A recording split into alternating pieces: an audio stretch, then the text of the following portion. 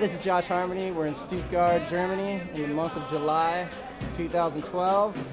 Skating around, doing just backside heel flips and massive double flips.